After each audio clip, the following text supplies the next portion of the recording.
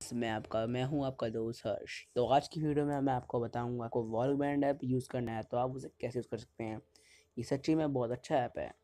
तो चलिए शुरू करते हैं। बिना टाइम जाया करें। तो हमने यहाँ पर अपना ऐप ओपन कर लिया है। अगर आपको इसके अंदर लूप बनाना है, जैसे कि आपने वीडियो में दिखा होगा कि पीछे लूप बन जाता है गानों के अंदर तो आप इसमें कैसे बना सकते हैं? सबसे पहले आपको मल्टी ट्रैक सैंड खोल लेना है।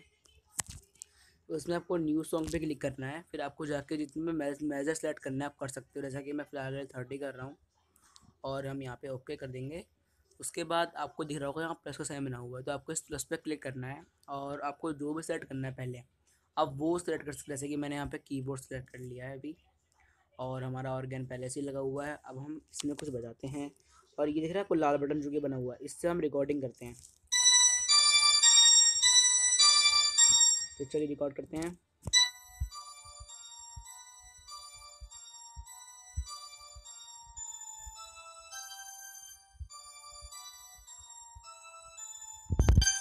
यहाँ से रिकॉर्ड हो गया, फिर हम ऐसे बैक कर देंगे, फिर यहाँ पे एक प्लस दबाएँगे, और जाके हम ड्रम किट पैड यूज़ करेंगे, और यहाँ पे हमने ई डी पैड यूज़ कर रखा है तो हम इसको ये वाला मोड कर लेंगे, और फिर हम एक ट्यूब पहले ट्राई करते हैं। और यहाँ से इसको रिकॉर्ड शुरू कर देंगे।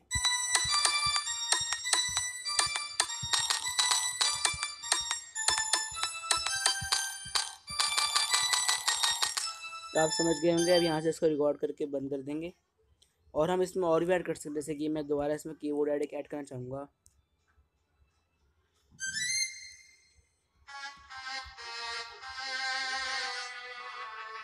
यहाँ से रिकॉर्ड दबा देंगे।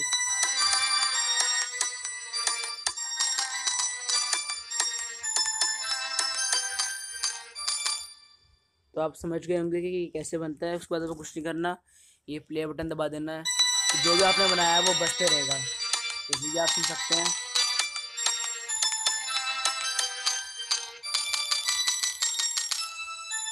तो ये था हमारा सॉन्ग जो कि हमने क्रिएट करा है। इसको आप भी क्रिएट कर सकते हैं। ये बहुत इजी था। मैंने आपको बता दिया है। तो अगर वीडियो अच्छी लगी हो तो लाइक शेयर एंड सब्सक्राइब कर देना। मिलते रहेंगे ऐसी एक नई वीडियो में।